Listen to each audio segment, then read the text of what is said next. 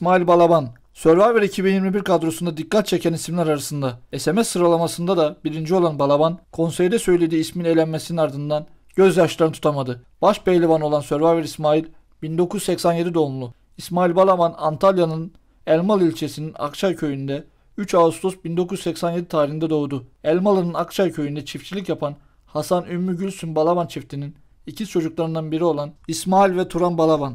İsmail Balaban küçük yaşta güreşe merak salmış, 17 yaşındayken eski yağlı güreş pehlivanlarından Ziya Talan'ın kendilerini keşfetmesiyle güreşi profesyonel olarak yapmaya başladı. Kırkpınar yağlı güreşlerinde 2009 yılı küçük orta büyük boyda birincilik, 2012 yılında da başaltı boyunda üçüncülük kazandı. 5-7 Temmuz 2013 tarihleri arasında gerçekleşen 652. Kırkpınar yağlı güreşlerinde İsmail Balaban baş kategorisinde er meydanına çıktı.